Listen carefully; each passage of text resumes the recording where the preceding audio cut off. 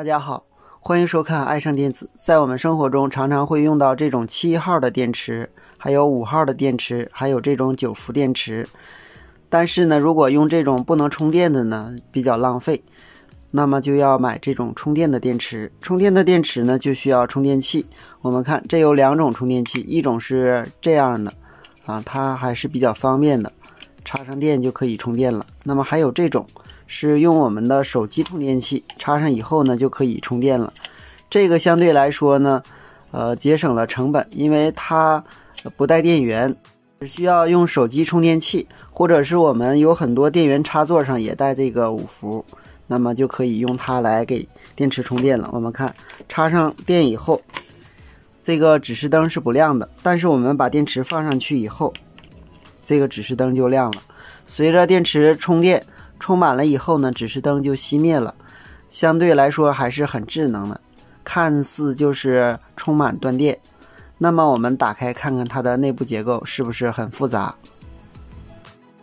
好，我们把它打开看看内部的结构，后边有两个螺丝，我们只需要把这两个螺丝拧下来以后，就可以把它打开了。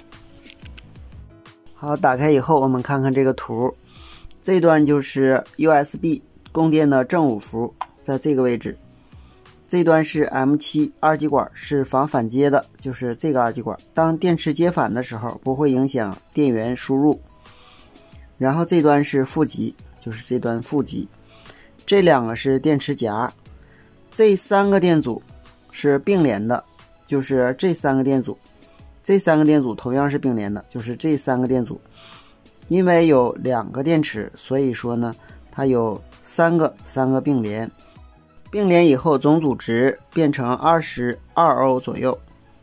然后上边这端是四百七十欧电阻限流，给这个发光二极管的正极供电。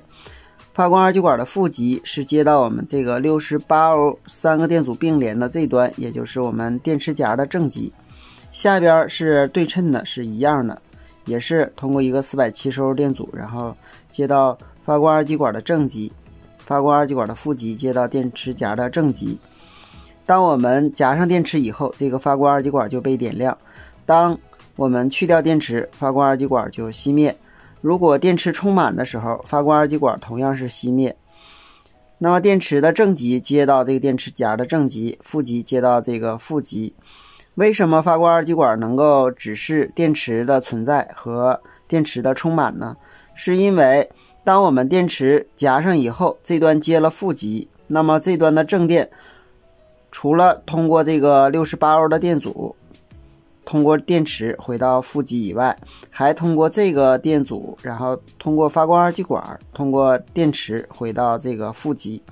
当电池渐渐充满以后，由于它的内阻变大，电流基本上就没有了。那么这样呢，我们的发光二极管也就熄灭了，所以就能够指示它的电量。